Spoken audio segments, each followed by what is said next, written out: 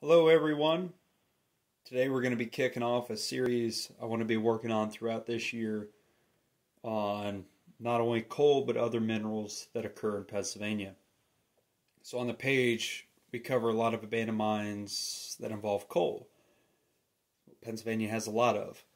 Uh, we've got absolutely immense bituminous coal reserves, some of the largest anthracite reserves in the world. Um, so there's a lot of mines involved with those, but I want to split off, cover some other minerals, and we're going to do other videos on site covering those minerals as well. But I just want to kind of do an introduction video, um, let everyone know what we're doing. So, like I said, Pennsylvania has immense coal reserves. Um, one of those coals being bituminous. I'll explain the gloves in a minute. This is a piece of bituminous coal. Camera's going to focus, I promise. Out of the Barclay Field, Bradford County. Um, this is what's known as your soft coal. Have our semi-anthracite. This piece here is out of the Bernice Field, Sullivan County.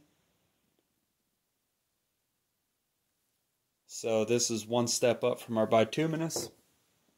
And then Pennsylvania also has our anthracite, which I don't have a piece of at the moment. Shame on me. But besides that, Pennsylvania also has, we have, this is iron ore. This is a piece of what's known as the Danville block ore. They also had a fossil ore there as well. Uh, but iron ore was mined throughout the state.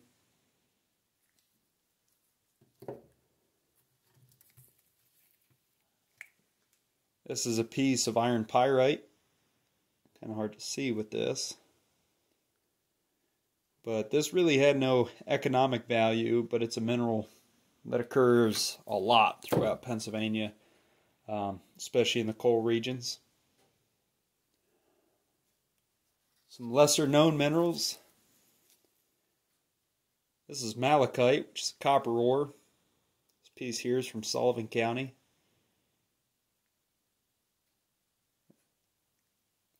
This also occurs in a few other spots in the state. We're going to cover those as well. So here's another piece. It's mostly malachite. It's going to be kind of hard to see in the video, but there's some darker blue areas throughout here. That's azurite. That's also a copper ore. And then, last piece we have on the table today, starting up the Geiger counter. See our background is coming up here. But as I move this Geiger counter closer to our last piece, notice that that goes way up. It off the stand here. See we're at 14,000 counts per minute. Varying a little bit, dropping down to 11, back up 13. Piece that I have there, this piece of uranium ore with carnotite on it. Um, that's the reason of the gloves. It's not only the radioactivity, but that it's also toxic.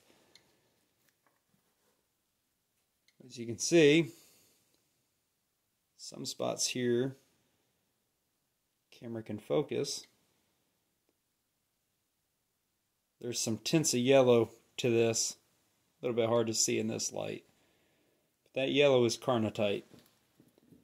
May have been on some of the pieces that fell off. That yellow is carnotite. So that's a uranium ore. Uranium ore was mined in several spots in Pennsylvania. Um, both commercially and on the exploration side of things.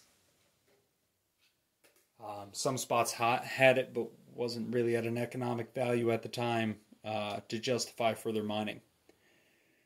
But in this series, we're also going to be covering other minerals besides what I have on the table today. Want to be covering, uh, you know, everything from limestone to what we have here. Um, maybe even get into just some aggregates and some of the aluminum clays that were mined. But I want to try to cover as many minerals um, that Pennsylvania has to offer. And so for each of these today, like I said, we're going to be going and we're going to do an on-site uh, video covering each one in a little bit more detail. Um, the formation, how much was mined, and different details like that. So I'm looking forward uh, to this series, and I hope you guys are as well. Um, and like I said, more videos will be uh, will be following this one. We'll go ahead and get this kicked off. I hope everyone's doing well. Thank you for watching. Um, if you like this, also check us out on YouTube. Also have Instagram now, uh, Abandoned Mines PA, and check us out there as well.